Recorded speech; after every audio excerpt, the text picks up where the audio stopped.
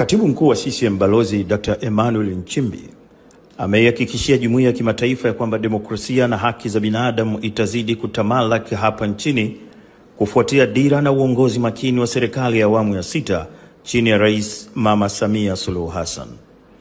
Dr. Nchimbi aliyesema hayo leo Jumanne Oktoba 15 katika ofisi ndogo ya CCM Lumumba baada ya kufanya mazungumzo na mabalozi wa nchi za Uturuki na Moroko pamoja na ujumbe kutoka taasisi ya Kimarekani inayohusika na misaada iitwayo Millennium Challenge Cooperation kwa kifupi MCC. Mapema mkurugenzi mtendaji wa MCC anayehusika na masuala ya sera na tathmini Dan Burns alimweleza katibu mkuu wa CCM ya kwamba taasisi yao iko tayari kushirikiana na Tanzania katika nyanja mbalimbali mbali za kimaendeleo.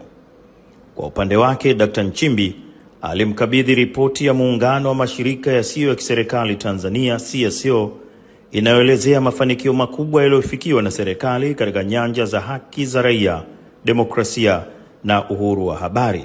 Katika mazungumzo yake na balozi wa Uturuki hapa nchini Dr. Mehmet Gologdu walijikita zaidi katika ushirikiano kwenye nyanja za elimu na kilimo, huku swala la ushirikiano katika nyanja ya michezo likijitokeza zaidi katika mazungumzo yake na balozi wa Moroko hapa nchini Zakaria El Komir.